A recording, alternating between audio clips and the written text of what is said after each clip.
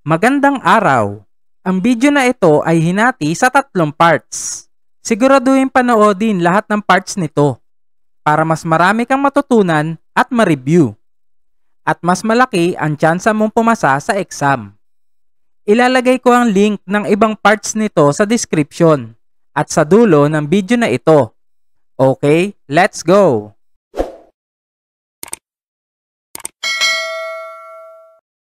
Kung ikaw ay umaatras pa diretso, dapat kang lumingon sa likod.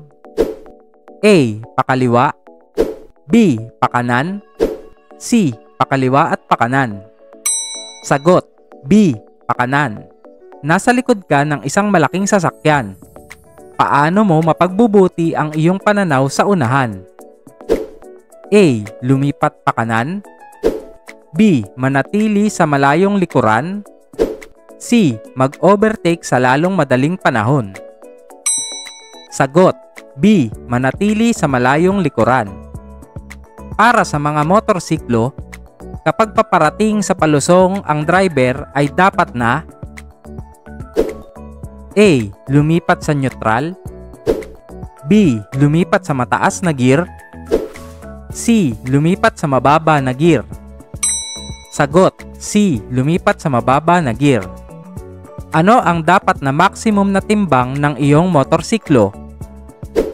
A. Dalawang beses ng bigat ng aking katawan B. Tatlong beses ng bigat ng aking katawan C. Apat na beses ng bigat ng aking katawan Sagot B. Tatlong beses ng bigat ng aking katawan Gawin ito kapag ikaw ay paparada A. Lumipat sa neutral gear B. Isara ang bintana. C. Patayin ang makina at hatakin ang handbrake. Sagot C. Patayin ang makina at hatakin ang handbrake. Hindi dapat lumusot sa paanan ng tulay sapagkat A. May tumatawid B. Hindi nakikita ang kasalubong na sasakyan C. Makipot ang daan Sagot B. Hindi nakikita ang kasalubong na sasakyan. Ano ang kahulugan ng patay sinding kulay dilaw na ilaw trapiko? A. Magmarahan at magpatuloy kung walang panganib. B. Huminto at hintayin magbago ang ilaw. C. Hintayin ang berdeng ilaw. Sagot A. Magmarahan at magpatuloy kung walang panganib. Ano ang ibig sabihin ng tuloy-tuloy na guhit na kulay dilaw? A. Maaaring lumusot B. Bawal lumusot C. Tama lahat ng sagot Sagot B. Bawal lumusot Ayon sa batas, hindi ka maaaring magmaneho ng matulin maliban kung A. Walang panganib B. Naaayon sa nakatakdang bilis o tulin C. Tama lahat ng sagot Sagot C. Tama lahat ng sagot. Ang isang may lisensya ay maaaring magmaneho ng A. Kahit anong uri ng sasakyan B. Sasakyang nakasaad sa kanyang lisensya C. Pampasaherong sasakyan lamang Sagot B. Sasakyang nakasaad sa kanyang lisensya Kung ang sasakyan na makakasalubong mo ay may nakakasilaw na ilaw, ano ang dapat mong gawin?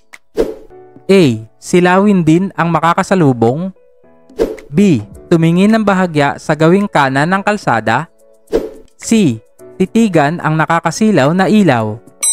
Sagot B. Tumingin ng bahagya sa gawing kanan ng kalsada. Kung paparating ka sa isang kurbada, ano ang dapat mong gawin? A. Magmarahan, bagalan ng takbo bago dumating sa kurbada. B. Bilisan ng takbo habang nasa kurbada. C. Magpreno ng bigla habang tumatakbo sa kalsada. Sagot A. Magmarahan. Bagalan ng takbo bago dumating sa kurbada.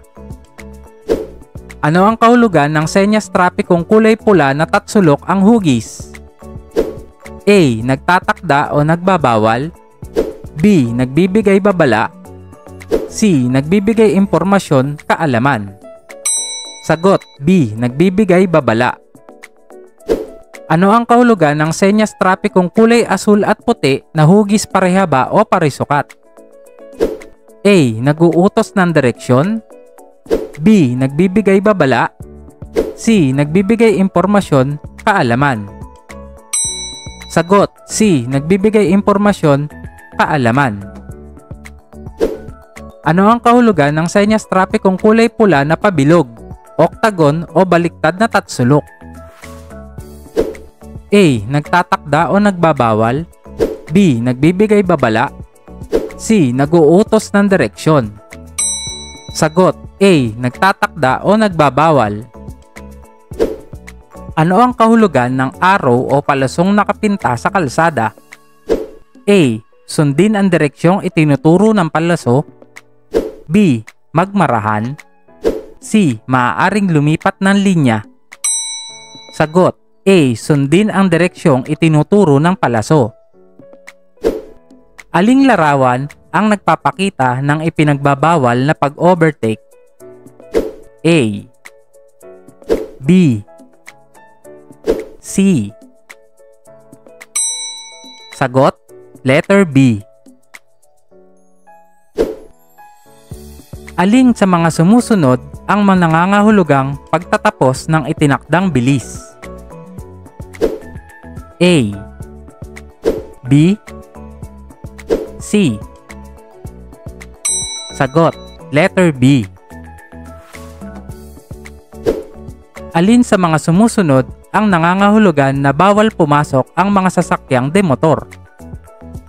A B C Sagot, letter B. Aling larawan ang nagpapakita ng ipinagbabawal na parada? A. B. C. Sagot, letter C. 0 meters from fire hydrant. Ang dalawang dilaw na linyang tuloy-tuloy ay palatandaan na A. Maaaring lumusot pa kanan B. Peligroso ang lumusot sa kanan C. Maaaring lumusot pa kaliwa Sagot B. Peligroso ang lumusot sa kanan Kung ang driver ng sasakyan sa unahan mo ay naglabas ng kaliwang kamay at inhunat ito, siya ay A. Kakaliwa B. Kakanan C. Hihinto Sagot A. Kakaliwa Kailangang magbigay ng senyas kung kakanan o kakaliwa sa darating na interseksyon sa layong A. 15 meters B. 60 meters C. 30 meters Sagot C. 30 meters Kung gusto mo magpalit ng lane sa highway, kailangan mag-signal A. 10 segundo bago gawin ito B. 5 minuto bago gawin ito. C. 1 minuto bago gawin ito.